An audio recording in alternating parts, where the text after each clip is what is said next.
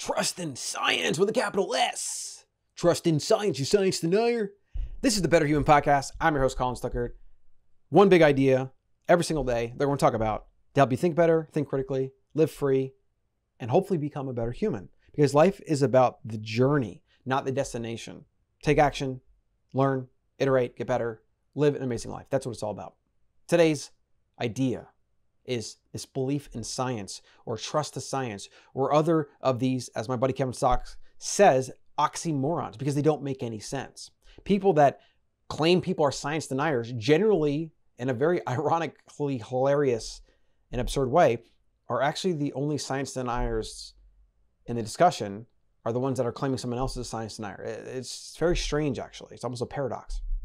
I have a strange pet peeve when I hear someone say, trust the science, or I believe in the science because that's not how science works. It doesn't ask for trust or belief. The foundation of science is built on applying rigorous skepticism about what is observed, given that cognitive assumptions can distort how one interprets the observation.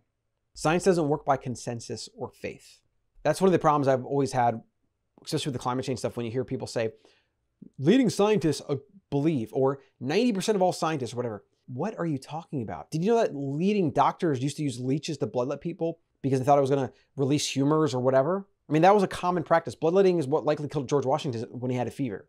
There's other barbaric things throughout history. Doctors used to not wash their hands. Most doctors did not wash their hands. In fact, the guy that proposed that you should wash your hands, he did a research, Vienna Hospital. He proved this through a scientific experiment. Even when he provided his results showing less women were dying through the hand washing experiment, all the doctors at the time didn't want to hear it. They didn't like the idea that they could have caused the deaths or be responsible for that in some way. And so what did they do? They ostracized him. They eventually fired him. And he died crazy because he knew this thing and nobody around him, none of his contemporaries would accept it.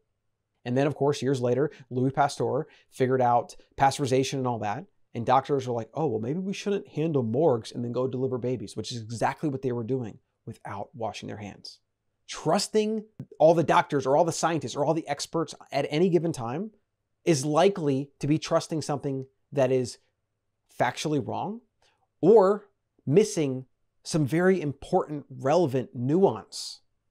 Because that's what the history of science is. The history of science is most scientists being wrong most of the time.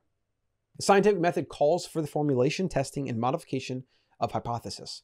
It does not call for belief or trust, nor does it require consensus. Most of the scientists throughout history that brought new ideas to the forefront were attacked by their contemporaries. Isaac Newton did not have a good relationship with other people. Uh, Galileo and another guy brought the idea that maybe Earth wasn't the center of the universe, and then he was thus tried for hearsay and forced to recant under pain of death. And he was under house arrest by the Catholic Church. Right? On and on it goes. Smoking was fought vehemently by obviously big tobacco. They used to use doctors to advertise cigarettes, and then that became illegal, and they had to stop doing that. On and on and on. These accidental conspiracies, I call them, go and will go. This is just what the scientific method and evolution of ideas and technology is. It is being wrong or doing something ineffectively the majority of the time. and those that benefit from the way things are, which is what most people that are doing something, they want to believe they're doing the right thing. People don't want to challenge their ideas or have to admit that maybe they were wrong or whatever.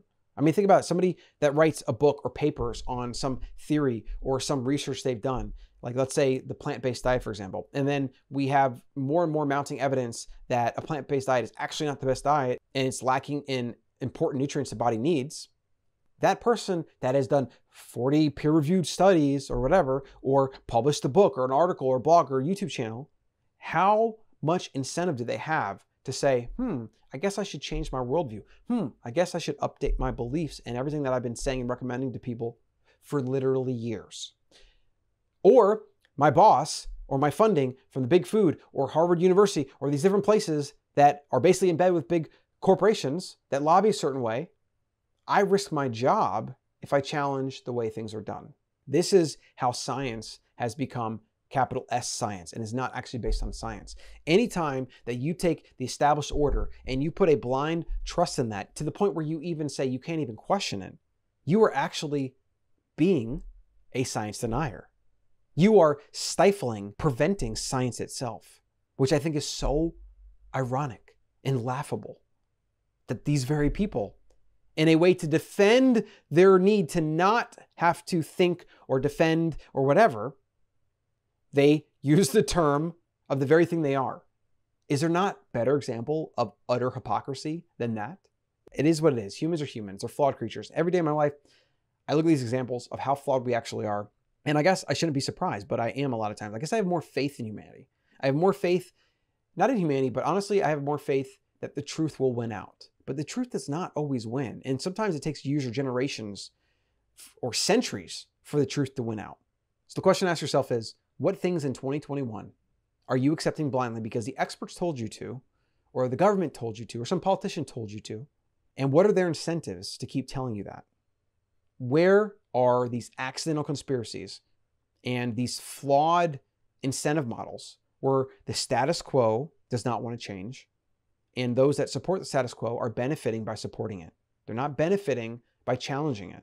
That's what science is. Science is an ongoing process. Science is not a destination. Science is a process.